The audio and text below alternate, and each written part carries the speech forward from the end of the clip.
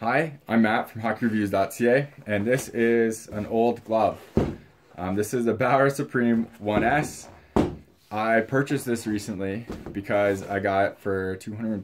Goalie Monkey, sorry, HockeyMonkey.ca was having a sale, and I got it for $225, which is an amazing price for this glove. Um, I am a huge fan of my 1X blocker. It's the best blocker I've ever used. The rebounds on it are great, everything like that. This has an even harder face with its curve.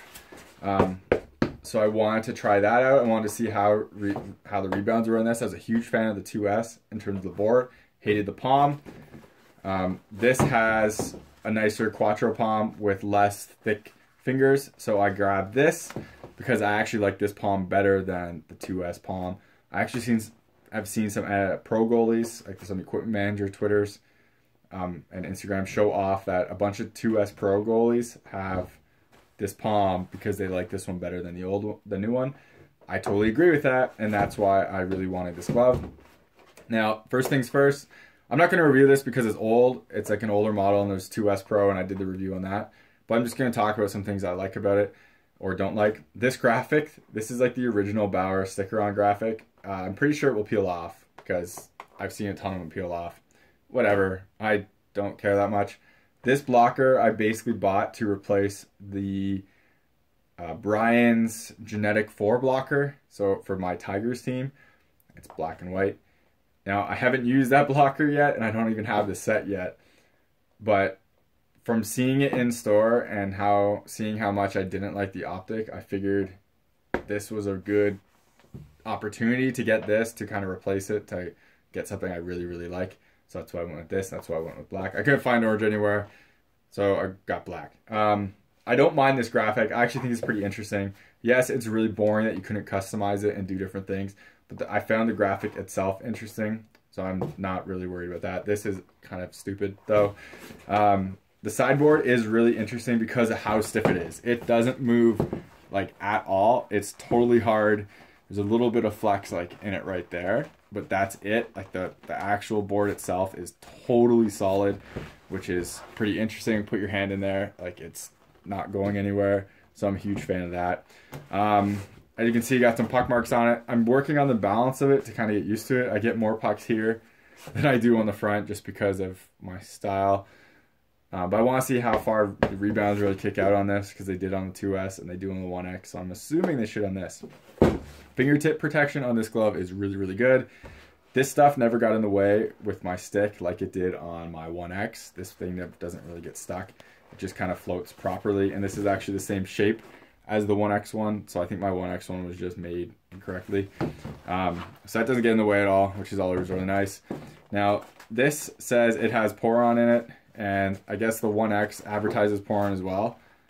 I can't feel Poron in these, so I don't know where it is because it's not that soft and it doesn't feel like a smartphone. So if there's Poron on there, I think it's kind of an advertising gimmick to be totally honest because it it's not it doesn't feel like it's doing much. Um, this palm I'm a fan of. It's it's like a quattro. They're quattro Nash. It's uh it feels like quattro, but it's kind of the Nash color. It feels slightly not as soft as the 1X, but the the actual fingertips and everything is are much smaller than the 2S was. I should say the palm is thinner, so it feels much smaller than the 2S. It's still a pretty big palm, um, and you can kind of see it bunching up, but it feels much nicer on my stick and much nicer to play with than the 2S did, which was really frustrating. These parts I actually find get in the way when I try to pick up a stick, especially compared to the 1X. I don't know why, but when I do try to pick up a stick, that kind of gets in the way on the ice, and I, I have a bit of trouble. Um, no issues on the 1X at all. Maybe it's a break-in thing. We'll see.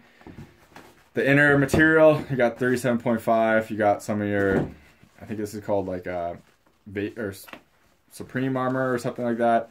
Can't remember exactly. And then your Nash on the inside. Again, your curved logo right there. I, am not sure if 37.5 really works. I haven't been able to test it properly. I don't notice these gloves be drier than other gloves I use, so I can't really comment on that.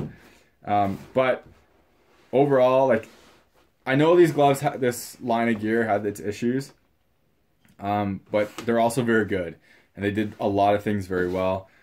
Hopefully, mine don't rip at the bottom like I've seen some people do. Kind of see some like white wear there, so hopefully that won't be the Gen Pro just ripping apart.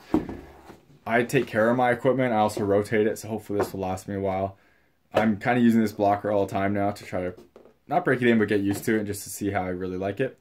Um, that's about it. Just want to talk about a new purchase just because I'm pretty excited about it. And it's kind of weird when I buy old gear, if you will. Um, but I, found, I actually found this one was nicer than the new one. But it is what it is. So thank you very much for watching. This is a bit of an unboxing and just a quick look at one of my newest pieces of gear, which is old gear. Um, and I hate to say this, remember follow me on Twitter, Instagram, and YouTube. Links are in the description. Helps me get gear so I can do reviews on and talk about them and do differences. Would have been cool to do a 1S versus 2S comparison, but I don't have that 2S blocker anymore. Um, and again, one other thing is if you do buy gear from a manufacturer and because of one of my videos, um, please, if you don't mind, reach out to the manufacturer and just mention, hey, I bought this or I didn't buy this because of so and so. Helps me get noticed by them just so I can get some demo stuff and things like that so I can talk about more gear and do more gear reviews in the future. But anyways, thank you very much for watching and take it easy.